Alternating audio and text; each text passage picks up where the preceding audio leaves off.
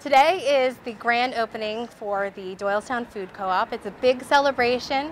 We, it's been a four-year project and it's an opportunity for us to celebrate our farmers, to keep the dollars in the community, and really create a convenience store for food that's healthy and nutritious and locally sourced. You'd be amazed at what you can find in the store, um, how many things are just outside your doorstep um, that you know you you don't need to go to the grocery store anymore. We have we provide such a level of convenience for you. Um, you find lots of products that are organic, or um, we have you know fair fair humanely treated meats.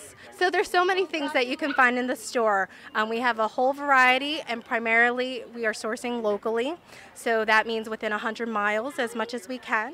And so you can find everything from candy bars um, to popcorn straight on the cob um, to beautiful grass-fed meats.